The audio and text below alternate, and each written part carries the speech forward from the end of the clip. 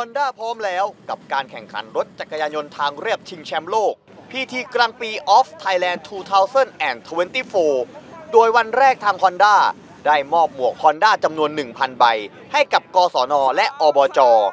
ซึ่งทางคุณเนวินชิดชอบ ได้เดินทางมารับมอบจากดรอารักษ์พรประภา ประธานบริษัทไทยฮอนด้าจำกัด